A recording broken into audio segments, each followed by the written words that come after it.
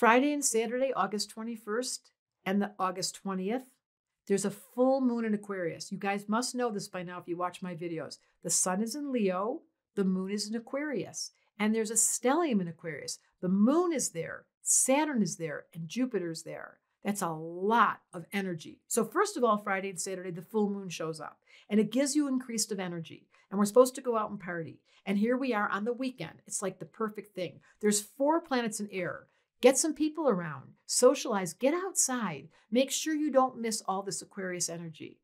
The interesting part is Jupiter is opposite the sun, exact degree. So not only is there a moon in Aquarius, but Jupiter is there and someone's being born under a lucky star. Friday and Saturday. What does all this Aquarius mean? It's what's brought into the collective because it started in December of 2020 that we start talking about humanitarianism, that we start talking about diversity. Aquarius can't stand injustice.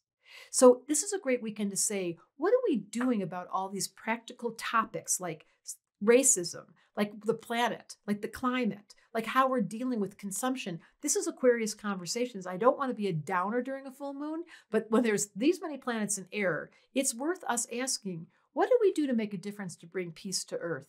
It's not about going to Israel and trying to solve that problem. It's about being peaceful with yourself and being able to talk about hard conversations and not avoiding them. That's what the moon in Aquarius wants more than anything in this full moon. So there's so many hot topics from what just happened with trans, what happens with the black community, what happens with refugees, what happens with the climate. There's a million reasons to say, oh my God, we've got to be humanitarianisms. But the Leo says, oh, not that again. I just wanted to go out and have fun this weekend, Debra. What are you talking about all that? But you can't avoid it.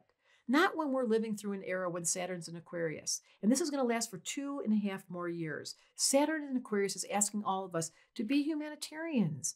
And the problem's gotten so much worse, we have to address that racism and inequality and the old stories of being separate and feeling the Republicans and Democrats are fighting, we've got to stay honest about this. You got me going. Four planets in air during a full moon. My request of all of us, said the astrologer, is you can't change the outer world. As best we can, we're working on the climate. We're trying not to be racist. But here's the real thing you can do is come to peace in yourself.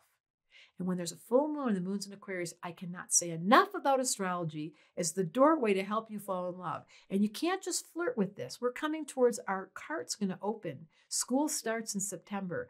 Come join our waiting list. Come study with me. I promise you, if you take the six week long class that starts in September that has to do with applied astrology, you're going to figure out a way to bring peace to earth by studying who you are, becoming your real self, and that's the contribution we make. Astrology Answers wanted me to tell you I have a school.